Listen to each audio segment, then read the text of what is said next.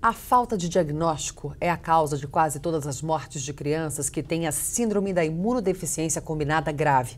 A doença também é conhecida como Síndrome da Criança da Bolha. É pela falta de defesas contra vírus e bactérias, até uma simples gripe se torna mortal. E a cura só vem com um transplante de medula.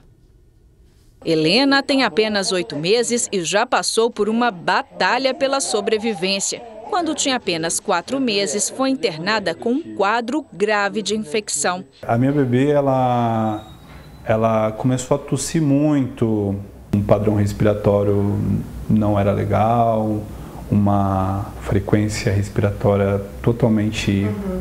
Bem alta. Depois de uma série de consultas com especialistas, veio o diagnóstico: Síndrome da imunodeficiência combinada grave. A doença, também conhecida como Síndrome da criança da bolha, faz com que o organismo não desenvolva defesas contra vírus e bactérias. Ou seja, uma gripe pode matar e a cura só vem com o transplante de medula. O transplante de medula óssea é o único tratamento atual para curar essas crianças.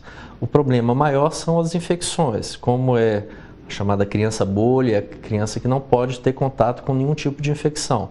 E muitas vezes né, são crianças que nascem e começam a ter infecções e que vão morrer dessas infecções. A síndrome da imunodeficiência combinada grave atinge cerca de 50 crianças por ano no Brasil. O número pode parecer pequeno, pouco expressivo, mas praticamente todas elas morrem por falta de diagnóstico. Valdênia sentiu na pele a falta de conhecimento da doença. O primeiro filho, Álvaro, morreu em 2013 com 100 dias de vida, depois de muitas internações. O segundo, Felipe, também nasceu com a doença, mas foi diagnosticado rapidamente e com sete meses fez o transplante. Hoje, aos quatro anos, leva uma vida normal. Felipe passou ileso, limpo da, do transplante, muito forte, assim, dando força para a gente. Na tentativa de evitar que tantas famílias sofram com a falta de diagnóstico, uma médica especialista em imunodeficiência do Instituto da Criança em São Paulo criou um guia com sinais de alerta para várias doenças raras. Segundo ela, é preciso ficar atento a infecções repetitivas, desde sapinhos até doenças respiratórias sem resposta à medicação.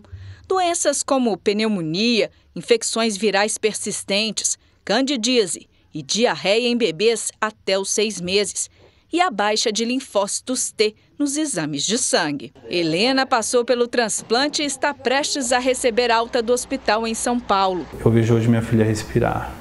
Eu consigo ver ela respirar sem aparelho. Isso para mim não tem preço. Curioso? Baixe o Play Plus em playplus.com, na Google Play ou App Store.